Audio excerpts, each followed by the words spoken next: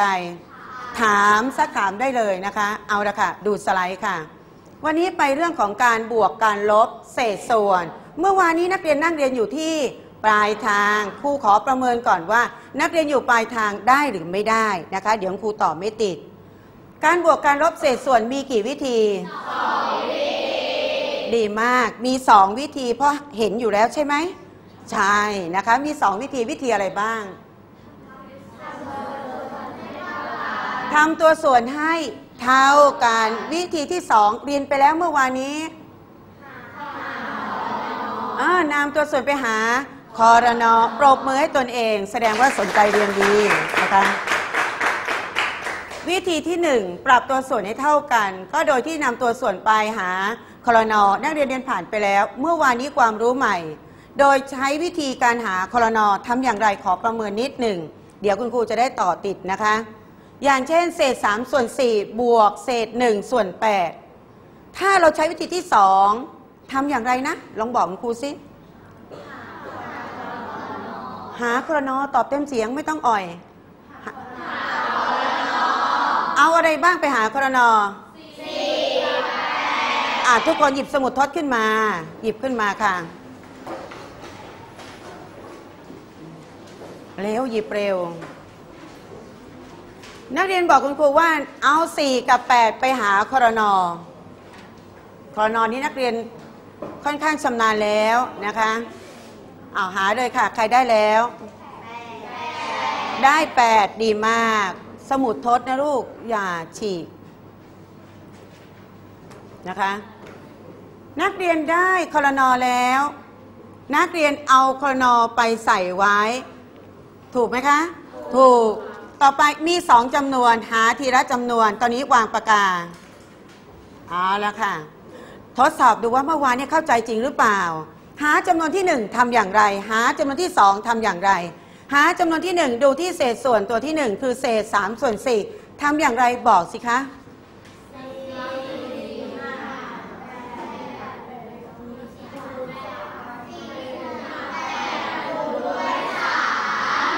นำสี่ไปหารแปดแล้วคูณสามโดยที่ครูให้นักเรียนจำไว้ว่าอย่างไรนะนำส่วนไปหารคอรนอได้ผลลัพธ์แล้วนำมาคูณกับเศษแล้วใส่นะคะ เมื่อกี้นักเรียนบอกคุณครูว่านำสี่ไปหารแปดแล้วคูณกับสามสี่หารแปดได้สองสองคูณสามได้ ใส่หกต่อไปตามด้วยเครื่องหมาย บวก หาจำนวนที่สองดูที่เศษ ส่วนจำนวนที่สองคือเศษหนึ่งส่วนแปดเอาบอกสิคะทำอย่างไร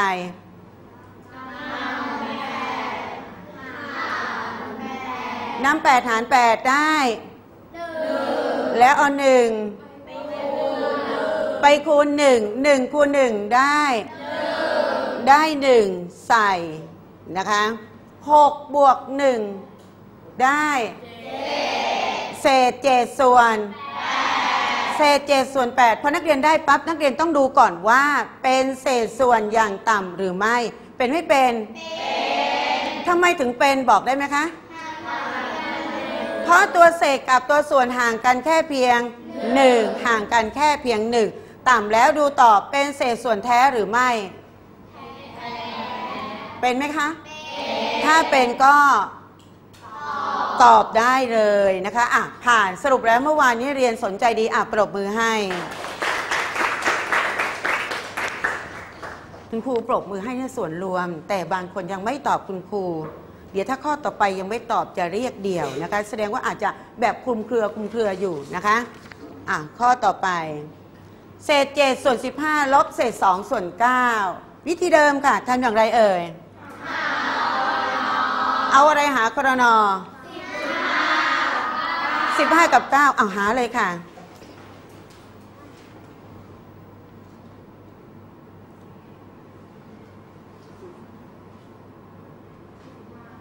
ได้เท่าไหร่คะ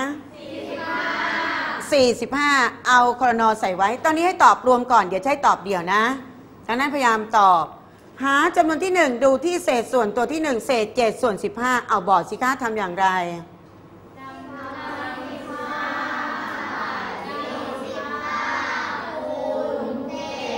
นำ15ไปหาร45ได้3 3คูณ7ได้21ใส่ต่อไปตามด้วยเครื่องหมาย ลบต่อไป หาจำนวนที่2ดูที่เศษส่วนตัวที่2คือเศษ2ส่วน9เอาบอกสิ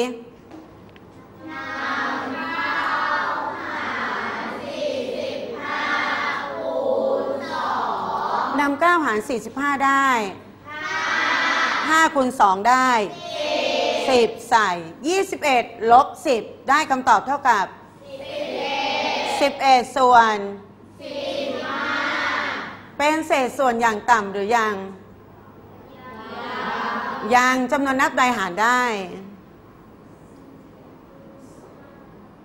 นักเรียนคะถ้านักเรียนครูถามนักเรียนว่าจำนวนนับใดหารได้ นักเรียนต้องตอบคุณครูได้จำนวนเดียวคือจำนวนอะไร 11เพราะครูบอกแล้วว่าถ้ามีจำนวนใดจำนวนหนึ่ง เป็นจำนวนเฉพาะ ต้องใช้จำนวนเฉพาะเป็นตัวหาร ไม่ต้องคิดมากไม่ต้องลังเล ถ้าเจอปั๊บนักเรียนต้องบอกคุณครูว่า หารได้ด้วย 11 แต่จริงๆแล้ว 11 หาร 45 แล้วได้หรือไม่ได้ถ้าหารไม่ได้แสดงว่าต่ำหรือยัง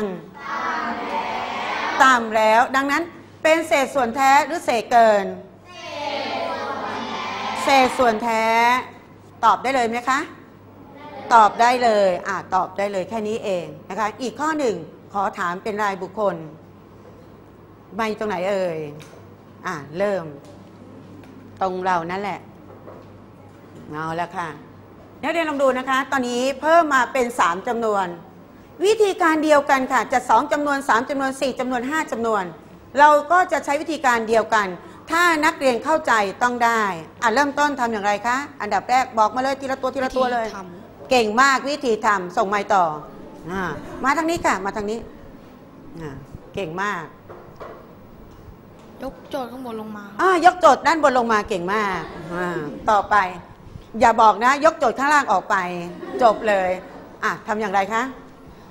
หาคอรนอหากรนอเยี่ยมมากเลย ส่งไม้ต่อ อะทีนี้ยังไม่หาเลยเราจะตอบอย่างไรดี นักเรียนต้องหาก่อนอะทุกคนลองหากรนอซิโอ้เยี่ยมมากเลยคกรนอเท่าไหร่คะสามสิบ30เอาอะไรบ้างไปหาครนออ่าเห็นไหมตอบได้แล้วต้องรู้ เอาอะไรบ้างไปหาครนอที่เพื่อนบอกมา 30 เราดีใจเพื่อนตอบให้ เราต้องรู้ที่มานะคะ 30 ได้มาจากไหนคะ นำอะไรไปหาครนอสิบห้ากับ15สิบสิบห้ากับห้า15กับ5พูดให้ซัดลูกพูดให้ชัดๆนะ พูดให้ชัดๆ อย่าออมเสียง15 5ต่อไป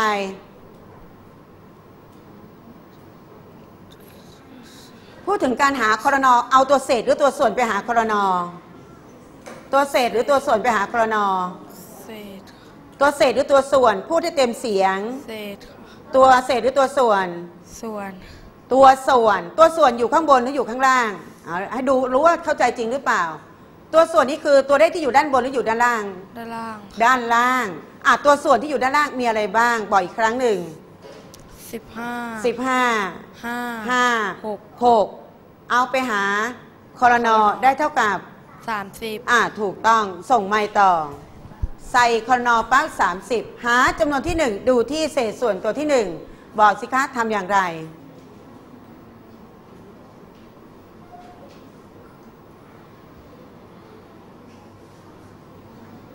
สิบสิบห้าบวกหกสิบห้าบวกหกโอ้โหวะเบญจวรรณบอกว่า เบญจวรรณบอกว่า เธอเอามานี่มา เราพูดเอง มา แล้วเธอฟังเรานะพรดา แล้วเดี๋ยวเราจะเอาไมค์กลับคืนไปให้เธออีกครั้งหนึ่งนะคะ ถ้านักเรียนตอบคุณครูบ่อยๆ ย้ำบ่อยๆ นักเรียนจะได้ค่ะ เพราะมันติดปาก แต่การที่เราไม่พูดนะคะเราไม่ช่างพูด เราจำไม่ได้อะนักเรียนดูเบญจวรรณอะเริ่ม 15 หาร 30 แล้วก็บวกด้วย บวกด้วย ยังผิดอยู่ เอาใหม่4คูณด้วย 4 ค่ะ เริ่มใหม่ค่ะ 15 หาร 30 คูณด้วย4ค่ะ15 หาร 30 แล้วคูณด้วย 4 ส่วนหารครนอคูณเศษจำให้แม่น 15 หาร 30 ได้ตอบพร้อมกัน 15 หาร 30 ได้สอง2คูณ4ได้แปดจำนวนถัดไปนะศิรดา นำห้าหารด้วยสามสิบคูณสอง5หาร30ได้หก6คูณ2ได้สิบสองส่งไปต่อไปจำนวนนะที่นำหกหารสามสิบแล้วก็คูณหนึ่ง3นำ6หาร30ได้ห้า5คูณ1ได้ห้าอะปรบมือให้3คนนั้นด้วยนะคะ ดีมาก ต่อไปหนูยังไม่ได้ตอบเลย ทีนี้พอหนูมองสิคะคำตอบตรงนี้จะหาตรงไหนก่อน เอา 8 ไปบวก 12 ก่อนเลยใช่ไหมคะ ไม่ใช่ทำอย่างไรคะ หาคำตอบที่ไหนก่อน ในวงเล็บในวงเล็บก่อน 12ลบ5ได้เท่ากับ 7 แล้วเอา 7 ไปบวกกับ ได้เท่ากับ 15 ส่วน 15 ส่วน 30 เป็นเศษส่วนอย่างต่ำหรือยังย งสามารถตัดทอนได้ด้วยจำนวนนับ 5 นอกจาก 5 แล้วอะไรได้อีก นอกจาก 3 นอกจาก 5 แล้วอะไรได้อีก 15 เอ๊ะจะเอาอะไรดี ได้ทั้งนั้นเลยนักเรียน 15ทำไมถึงเลือก 15 เพราะเร็วดีประหยัดดีน้อยดีแล้ว จบ แต่ถ้าเกิดใครหารด้วย 3 ต้องหารต่อใครหารด้วย 5 แล้วต้องหารต่อ แต่ถ้าเกิดใครหารด้วย 15 แล้วจบเลยนะคะ อะตกลงตามใจหารด้วย 15 15 หาร 15 ได้ 15 หาร 30 ได้ ตอนนี้คำตอบสุดท้ายได้เท่ากับเศษ 1 ส่วน เศษ 1 ส่วน 2 เป็นเศษส่วนอย่างต่ำหรือยัง ทำไมถึงเป็นแล้ว เพราะตัวเศษกับตัวส่วนห่างกันแค่เพียง 1 1 ถูกต้องเก่งมาก อะ ปรบมือให้ทุกคนผ่าน ทีนี้วันนี้เพิ่มยากขึ้นมาอีกนิดหนึ่งเดี๋ยวให้นักเรียนใครได้ยกมือว่า เอ๊เราจะหาคำตอบอย่างไร โดยเอาความรู้การบวกการลบที่นักเรียนเรียนมาเป็นพื้นฐาน วันนี้จะไปเกี่ยวกับเรื่องของการบวกลบจำนวนคระจำนวนคระนะ